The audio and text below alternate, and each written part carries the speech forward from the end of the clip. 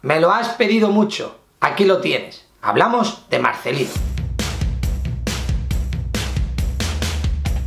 Hola a todos y bienvenidos a Fútbol Secret. Único entrenador que puede ganar tres Copas del Rey consecutivas. Marcelino, con el Atleti de Bilbao. Aquí lo vamos a explicar detalladamente cuáles son las claves para poder entender mejor al Atleti de Marcelino. Vayamos a la pizarra.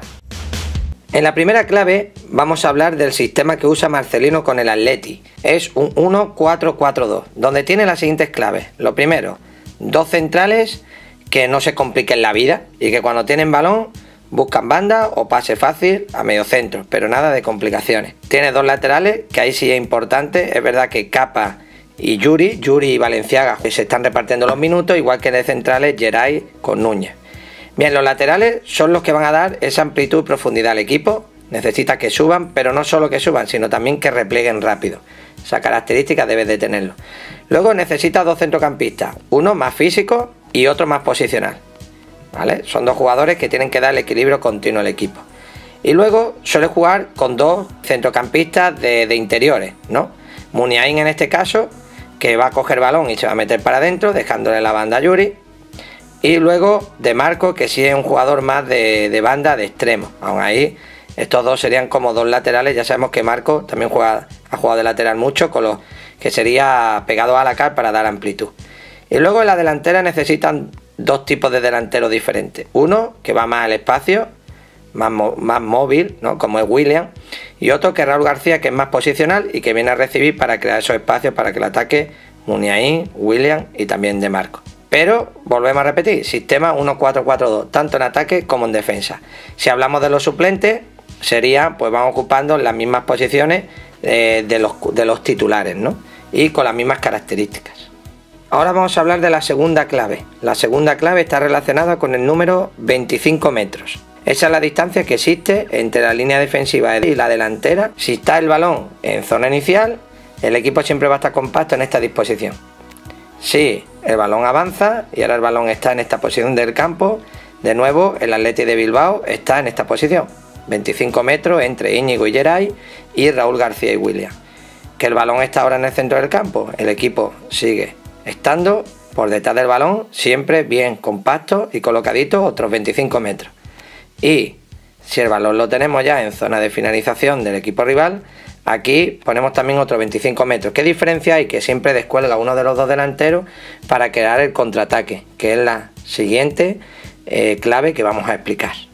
En la tercera clave de Marcelino, o de cómo juegan los equipos de Marcelino, vamos a hablar de las transiciones. Fijaos cómo el equipo está bien plantado, tapando carril central, muy compacto, los 25 metros que hemos dicho. ¿Y qué pasa cuando roba? En este caso, roba Íñigo, balón a Geray y fijaos lo que pasa aquí. El equipo se abre para crear una, transición.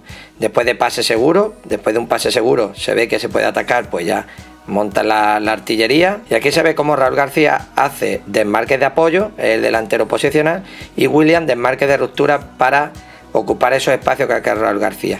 En este caso, Raúl viene a recibir, William ocupa un espacio y es de marco en banda el que da esa amplitud para hacer esa transición.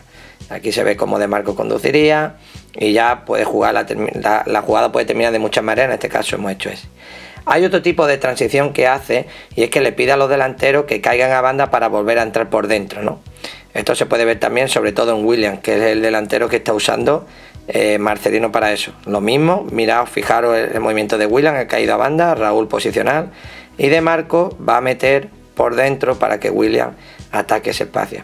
¿Qué pasa? Que como William está acostumbrado a que ha jugado en banda, pues lo único que tiene que hacer es adaptarse a lo que pide Marcelino con, la, con, con los matices que hacía anteriormente cuando jugaba en banda.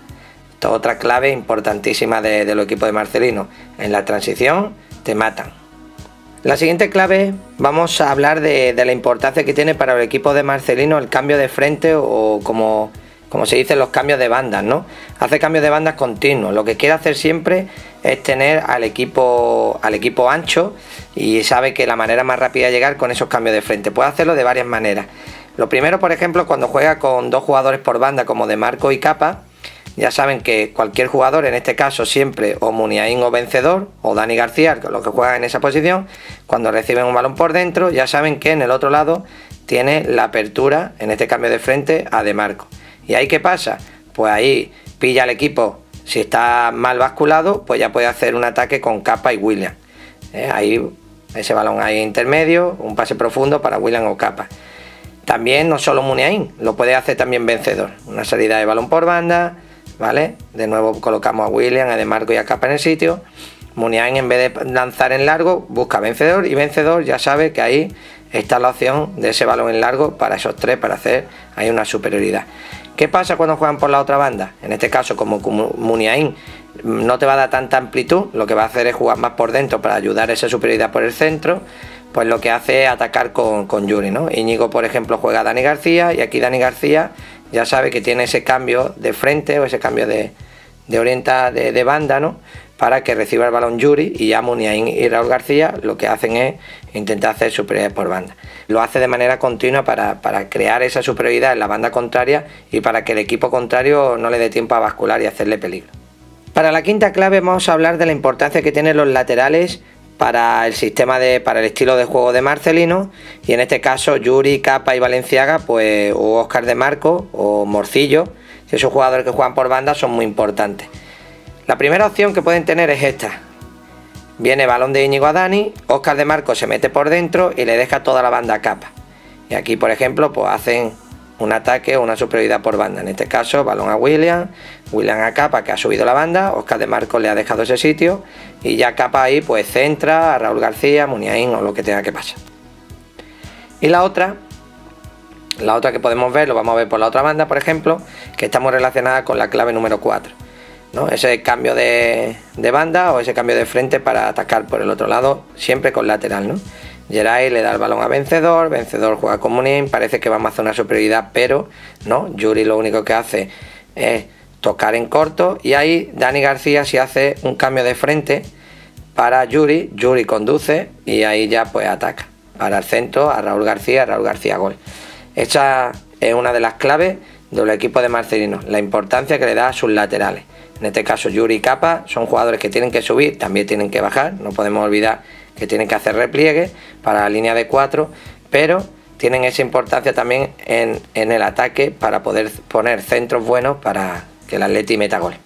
No hay nada más que decir, solo suscribiros, dejar vuestro comentario, dar la campanita y nos vemos en el siguiente episodio de Fútbol Secret.